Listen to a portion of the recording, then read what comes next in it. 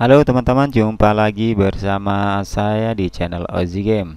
Oke, untuk video kali ini ini sekalian menjawab pertanyaan dari teman kita. Nah, di sini saya akan bagikan bagaimana caranya kita melakukan zoom untuk pemain. Jadi wajah pemain itu tampak lebih jelas dan kita bisa melihat zoomnya baik itu wajah pemain maupun bola yang mengarah ke gawang ataupun saat diumpan. Jadi contohnya seperti ini. Ini contohnya. Jadi saya zoom pemainnya posisinya ya. Seperti itu ya. Oke Mbappe. Dan ini kita bisa nah, seperti ini bola. Itu larinya ke mana kita bisa di zoom pelan-pelan. Ya bola ditangkap seperti itu. Ya. Nah kalau kita mau ambil screenshot bisa seperti ini. Ya kita ambil screenshot. Ya seperti itu. Oke jadi untuk zoom ini ada tiga cara yang akan saya bagikan ya. Oke. Jadi untuk zoom itu nanti masuknya di training ya.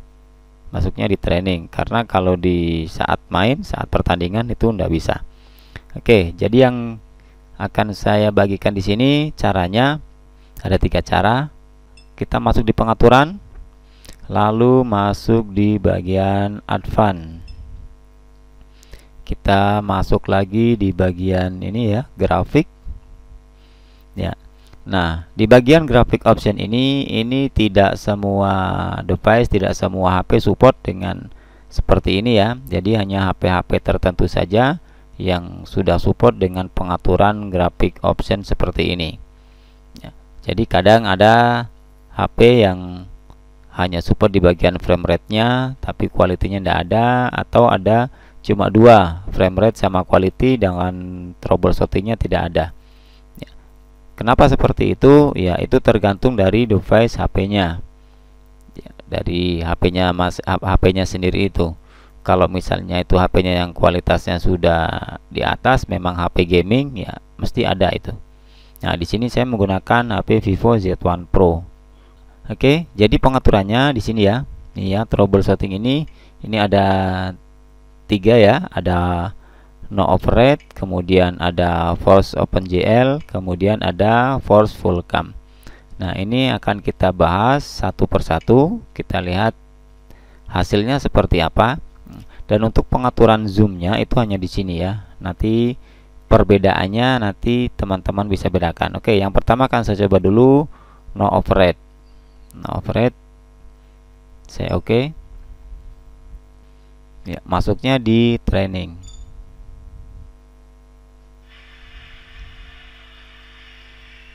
Nah, setelah itu kita coba di free training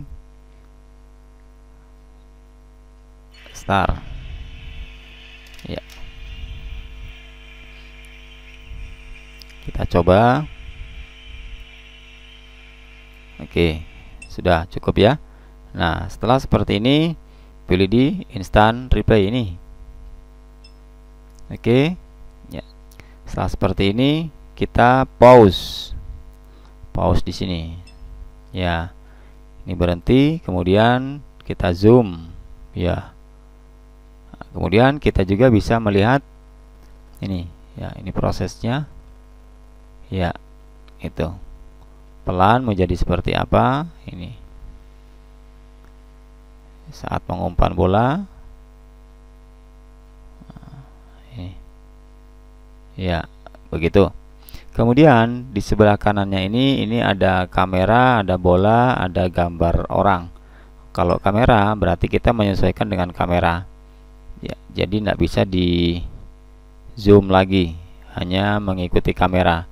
Kemudian kalau bola pun sama seperti itu. Nah, kalau orang ini ada tampilan namanya di sini. Suarez. Nah, berarti kita akan mengezoom Suarez. Alan ini yang terlihat di kamera nah, itu nanti yang ada tertulis di sini. Oke, seperti itu. Ya. Oke, itu ya. Itu yang pertama. Ya, kemudian kita tutup lagi. Kembali ke pengaturan di advance.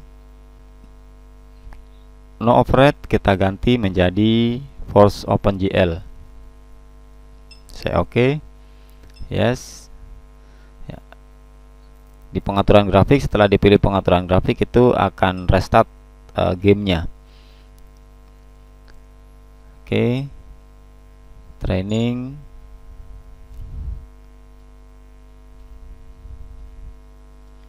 Ya.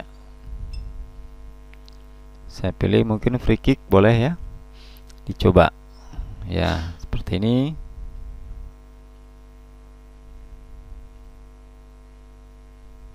Oke. Sekarang kita zoom di pause. Kemudian pilih instant replay. Ya. Nah, setelah di pause kita bisa cek di sini.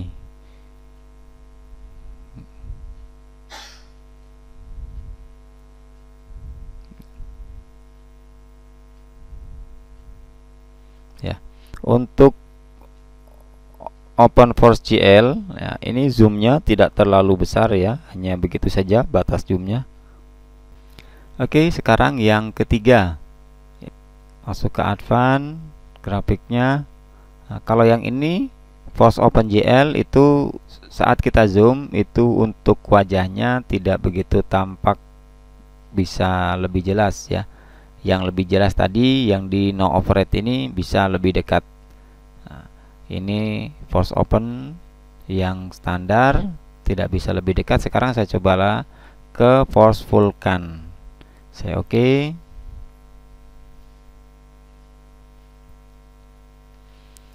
oke okay, masuk ke training.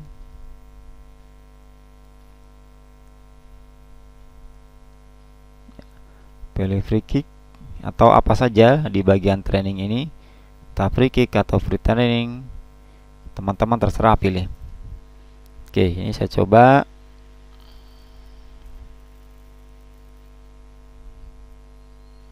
Oke di pause. Ya, kemudian pilih instant replay.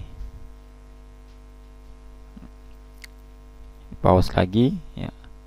Ini bisa kita zoom seperti ini ya. Ya jadi untuk vulkan itu bisa kita zoom pemain ya itu ya pemainnya bisa juga kita zoom kita lihat wajahnya bisa. Itu ya ya jadi tinggal kita putar-putar seperti itu. Oke begitu saja ya caranya untuk kita bisa zoom pemain supaya wajah tampak kelihatan lebih dekat Nah, itu sekalian menjawab pertanyaan teman yang menanyakan bagaimana caranya ngezoom. Ya, mudah-mudahan yang bertanya melihat videonya. Oke, demikian untuk video kali ini. Semoga yang sedikit ini bisa bermanfaat. Jangan lupa klik tombol like, subscribe, dan share. Juga aktifkan notifikasi loncengnya agar teman-teman tidak ketinggalan jika ada update dan info terbaru dari Ozi Game. Terima kasih sudah menyaksikan dan sampai jumpa di video selanjutnya.